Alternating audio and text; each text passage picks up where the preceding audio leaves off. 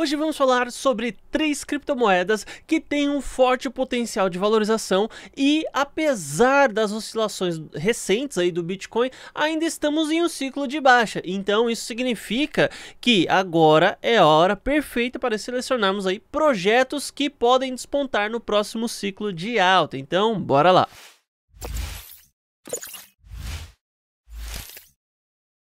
Opa, aqui é o Marcos Eduardo, seja bem-vindo ao canal Dinheiro Cripto e desde já eu te convido aí a se inscrever e ativar o sino das notificações para ficar sempre por dentro de tudo o que acontece no mercado financeiro das criptomoedas.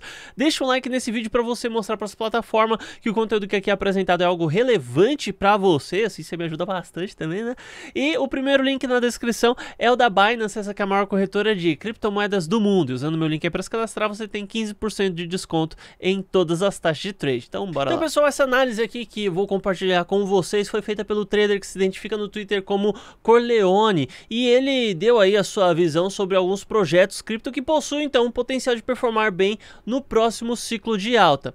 É, e para entender a análise dele, temos que entender também antes o que são as small caps no mercado cripto, pois nela é que a análise em questão é focada. Bom, e para quem não sabe, as small caps de entendimento comum são os ativos com menor valor de mercado que possuem mais chance de registrar ganhos muito acima da média.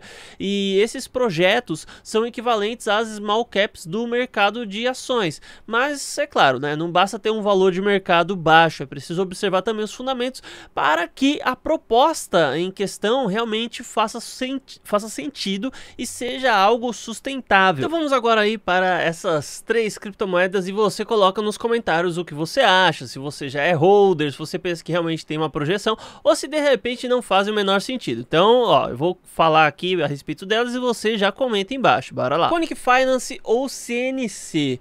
Essa moeda ela foi desenvolvida para gerar liquidez para os pools da Curve Finance, que é essa exchange que já tem a sua própria criptomoeda, que é a Curve DAO Token.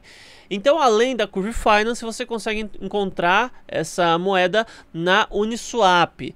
É, o preço da, da, CNC, pelo menos na hora que eu estou gravando esse vídeo, está em torno de 8 dólares e 30 cents. O volume nas últimas 24 horas está em torno de 300 mil dólares. E ela ocupa aí a, a posição 3045 no ranking do CoinMarketCap capitalização dela de mercado é pequena, né? Por isso ela é considerada mais um small cap.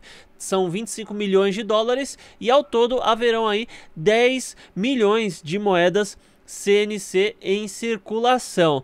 Mas e aí, vale a pena? Não vale? Olha, gente, é, é aquela coisa, se a Curve Finance e o, e o Curve DAO Token valorizarem muito e tiverem uma exposição avassaladora no mercado, você pode imaginar que sim, ela pode valorizar bastante. É a mesma coisa quando a gente olha para a plataforma Avalanche. Embora a Avalanche não tenha a sua própria corretora, né? A Valebs não, não seja dona de uma corretora, embora existam os projetos descentralizados. É a mesma coisa que tem, tem uma moeda chamada Chava, né? Eu sou holder de Chava porque eu acredito que a Avalanche vai despontar, vai valorizar pra caramba, é um projeto fantástico e gigantesco. Então, se você acreditar que o Curve DAO Token e a Curve Finance são projetos fantásticos, então você pegar uma espécie de spin-off, né, de, chamemos assim, é, como a CNC, aí sim pode ser uma boa opção. Agora, comprar a CNC só pelo fato do que a CNC é e desvinculá-la a respeito da Curve Finance ou do Curve DAO Token, daí eu já vejo que não faz muito sentido. JPEG ou JPEG-D, ela chama bastante atenção pelo fato de que ela tem uma tesouraria aí é, bem gordinha que conta com cerca de 50 milhões de dólares, isso em Ethereum e Curve DAO Token, né, o CRV. E o intuito dela é permitir que os usuários utilizem NFTs como colateral para a tomada de empréstimos.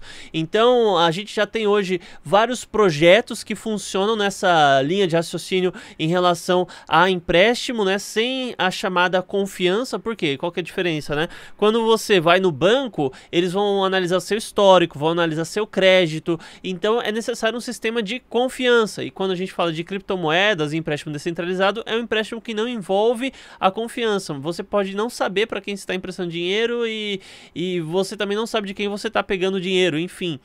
É, então isso está funcionando muito bem, na verdade, no mercado das criptomoedas, está dando muito certo, tem muita gente ganhando dinheiro com isso.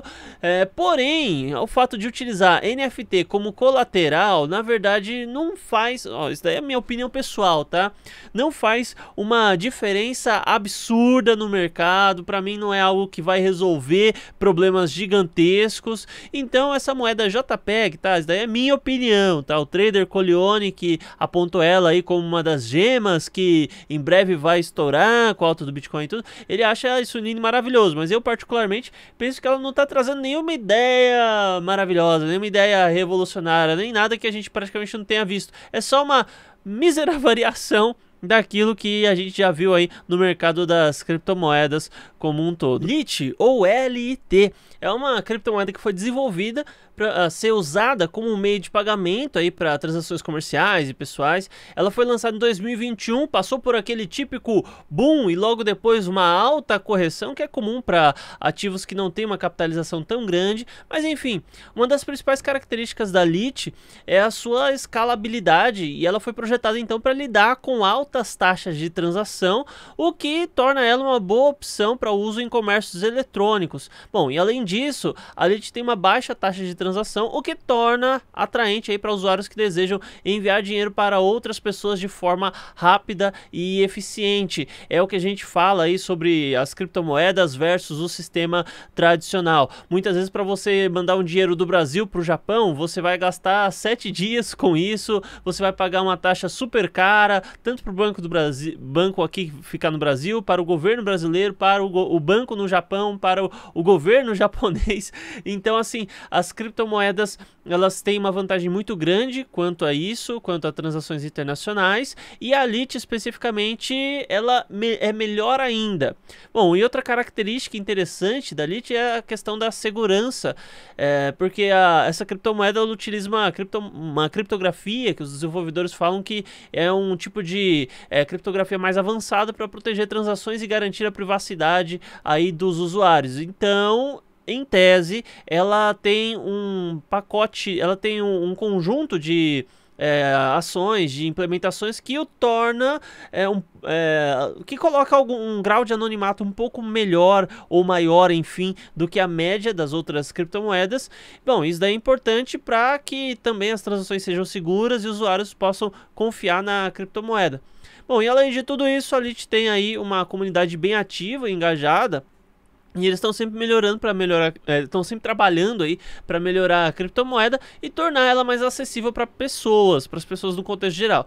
Mas para resumir, né, a gente é uma criptomoeda interessante, com características atraentes e a questão dela, acima de tudo, é a escalabilidade e a baixa taxa de transação e o anonimato, né, na verdade, a segurança oriunda do anonimato. É, então, essa daí é uma moeda, uma das moedas apontadas pelo trader Colione que ele acredita que pode ter uma valorização muito forte diante do boom do Bitcoin. Então é isso, muito obrigado por ter assistido e um beijo nas nádegas. Até mais.